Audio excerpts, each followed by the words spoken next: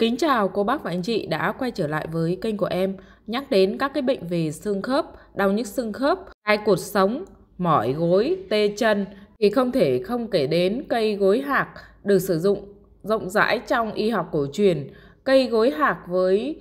công dụng điều trị các cái bệnh về đau nhức xương khớp, phong tê sấp,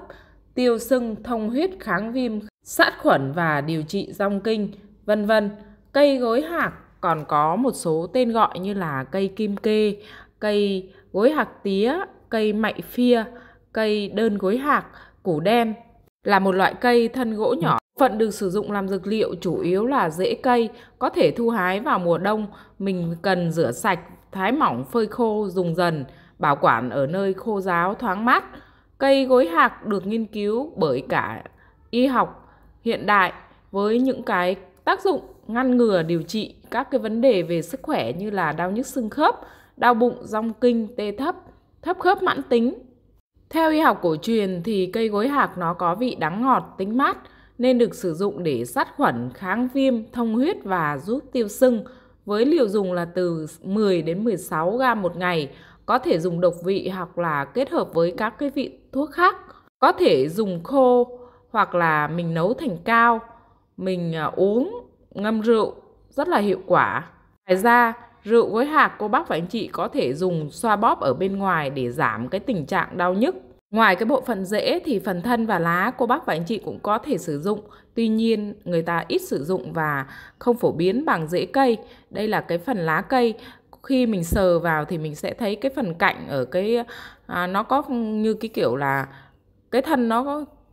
chia cạnh đó cô bác và anh chị. Đây cái cây này thì rất là dễ nhận biết bởi vì cái chùm hoa mọc màu đỏ rất là bắt mắt và dễ nhận biết. Theo y học cổ truyền thì cây gối hạc được quy vào ba kinh đó là phế, tỳ và vị. Và bây giờ em xin chia sẻ đến cô bác và anh chị một số các cái bài thuốc từ cây gối hạc. Bài thuốc đầu tiên điển hình từ cái loại dược liệu này đó là người ta sẽ chữa cái viêm khớp gối cấp tính, tràn dịch ở khớp gối. Cái căn bệnh này thì nó gây ra đau nhức và rất là ảnh hưởng đến cái chất lượng đời sống của bệnh nhân. Cô bác và anh chị có thể dùng rễ gối hạc với liều lượng 20g kết hợp với rễ của cây cỏ xước 12g, dây đau xương 15g, kim ngân hoa 15g, bồ công anh 10g, cam thảo nam 10g. Sắc uống ngày một thang, mình có thể chia làm 3 đến 4 lần uống trong ngày và uống thuốc khi còn ấm để có nhiều cái tác dụng nhất.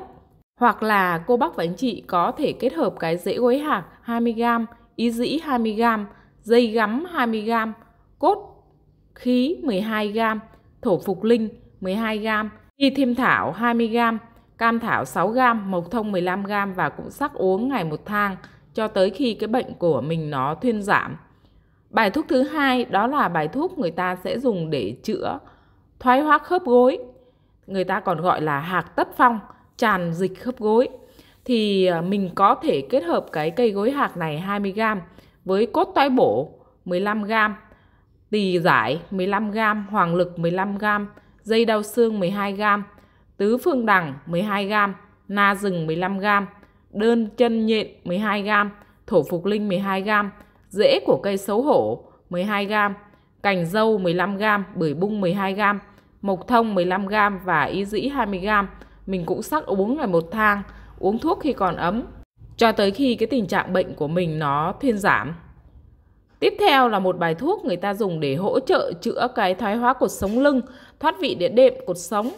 gây nên các cái tình trạng đau nhức và ảnh hưởng đến cái chất lượng đời sống.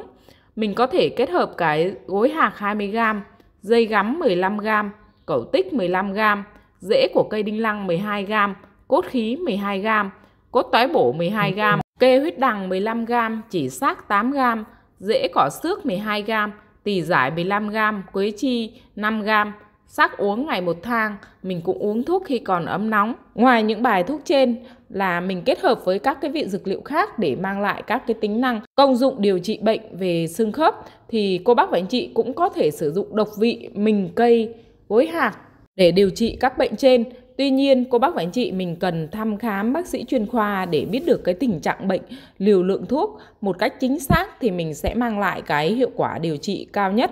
Cây gối hạc là một trong những cái cây Dược liệu được sử dụng rộng rãi và lâu đời ở trong y học cổ truyền nên cô bác và anh chị có thể tìm hiểu và ứng dụng cái loại dược liệu này vào đời sống nhé. Cây này cũng rất là dễ trồng, mình có thể trồng trong vườn nhà được. Xin chào và hẹn gặp lại cô bác và anh chị ở các video tiếp theo.